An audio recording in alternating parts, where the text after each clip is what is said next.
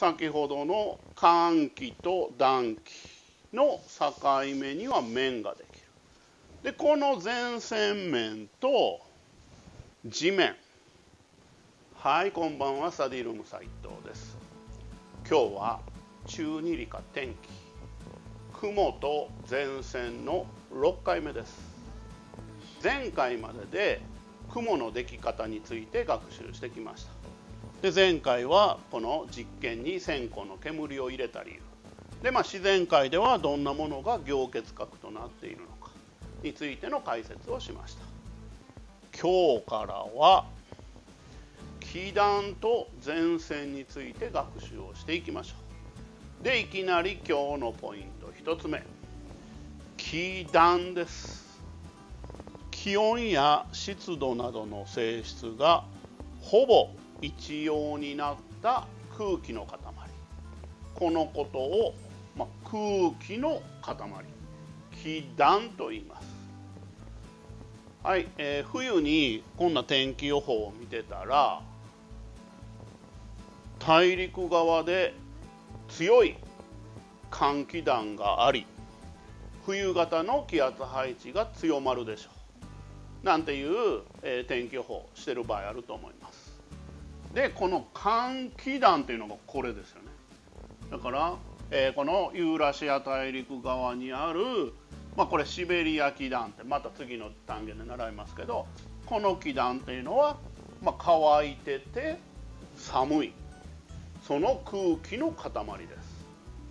でこういうふうに乾いてて寒いとか湿ってて暖かいとかこういう性質がほぼ一様になった。こういう空気の塊。これを気団と言います。で空気ってなんかぶつかってもすぐ混ざりそうですけどこうかき混ぜてやったらそれは混ざりますよ。でもただこう自然にぶつかっただけだと空気っていうのはそんなに簡単に混ざりません。でその空気と空気の境目にできるもの。これが今日のポイント2つ目です。前線面。気温や湿度などの性質が異なる。気団が接した時にできる境界面。これを前線面と言います。例えばこっちにあったかい空気があってこっちに冷たい空気がある。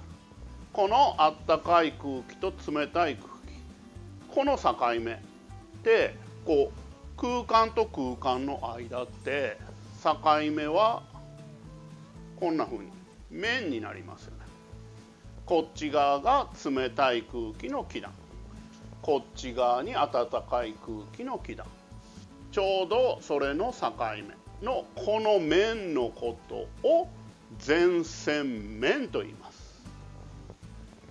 はい続けて今日のポイント3つ目です。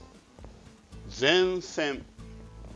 前線面が地表面に接しているところです。でこれ1年生の数学空間図形でも習ったように面と面が接するところには線ができます。これいいですか？先ほどの寒気と暖気の境目には面ができる。でこの前線面と地面とが接するところこの接しているところは線になりますよね。この黄色とピンクの境目ここには線ができます。これが前線になります。さあ今日はこれから習う大切な言葉が3つ出てきました。気団前線面前線。この3つの言葉しっかりと覚えておきましょう。で次回は、えー、この前線について何種類も出てくるのでそのそれぞれについて説明をしていきたいと思います。では今日の授業は以上です。